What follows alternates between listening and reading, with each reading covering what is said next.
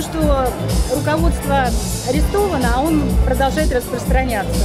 Вы знаете, Это когда э, это настолько цинично, я э, вот шел как-то э, с ребенком, ему там 7 лет, я его вел в школу, и мы идем, и нам дают флирт. Я думаю, боже мой, до чего дошло, э, дошла жизнь, когда я, взрослый мужчина, ведет ребенка, и нам дают этот журнал, э, и мне нужно как-то объяснить ребенку, что это за журнал, и это страшно. На самом деле это те язвы, которые нужно уничтожать. Спасибо вам большое. Пожалуйста.